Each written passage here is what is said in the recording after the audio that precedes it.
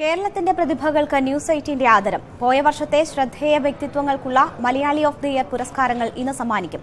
കേരളീയ ജീവിതത്തിന് സമാനതകളില്ലാത്ത സംഭാവനകൾ നൽകിയ എം ടി വാസുദേവൻ നായർക്കും നടൻ മധുവിനും സമഗ്ര സംഭാവനയ്ക്കുള്ള പുരസ്കാരങ്ങളും ചടങ്ങിൽ സമർപ്പിക്കും.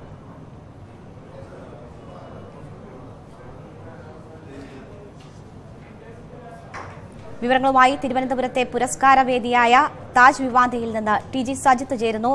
സജിത്ത് മലയാളി പ്രതിഭകളെ ആദരിക്കുകയാണ് ന്യൂസ് എയ്റ്റീൻ. ചടങ്ങ് മൂന്ന് മണിക്കാണ് ആരംഭിക്കുന്നത്. ഒരുക്കങ്ങൾ എവിടെ വരെ എത്തി?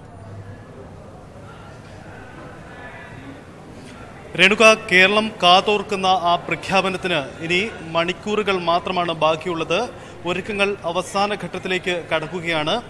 ഞാനിപ്പോൾ നിൽക്കുന്ന തിരുവനന്തപുരത്തെ താജ് യുവാൻഡ ഹോട്ടലിൽ എനിക്ക് പിന്നിലായി കാണുന്ന ഈ വേദിയാണ് അവാർഡ് പ്രഖ്യാപനത്തിന് വേണ്ടി സജ്ജമായിക്കൊണ്ടിരിക്കുന്നത് മണിക്കൂറുകൾക്കുള്ളിൽ തന്നെ ചടങ്ങുകൾ ആരംഭിക്കും.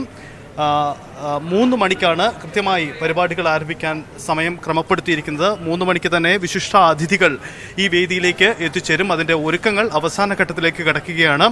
രേണുക സൂചിപ്പിച്ച പോലെ തന്നെ തന്റെ ഇടപെടൽ കൊണ്ട് കേരള ചരിത്രത്തെ അടയാളപ്പെടുത്തിയ കഴിഞ്ഞ വർഷം അടയാളപ്പെടുത്തിയ വ്യക്തികളെയാണ് ന്യൂസ് എയ്റ്റീൻ തിരഞ്ഞെടുക്കുന്നത്. എട്ടംഗ ജൂറി ഡോക്ടർ ശശി തരൂർ അധ്യക്ഷനായ എട്ടംഗ ജൂറിയുടെ കണ്ടെത്തലുകൾ ആ പ്രതിഭകൾ ആരൊക്കെയാണ്? അതാണ് കേരളം കാതോർക്കുന്നത്. ആ പ്രഖ്യാപനത്തിന് മണിക്കൂറുകളുടെ മാത്രമാണ് ഇനി ബാക്കിയുള്ളത്. പ്രഖ്യാപനം മൂന്ന് മണിക്ക് തന്നെ ഈ ചടങ്ങുകൾ ആരംഭിക്കും. നാല് മണിക്ക് മുഖ്യമന്ത്രി അടക്കമുള്ള justice governor justice P Sadasivam അടക്കമുള്ള പ്രമുഖർ ഈ വേദിയിലേക്ക് എത്തിച്ചേരുന്നു.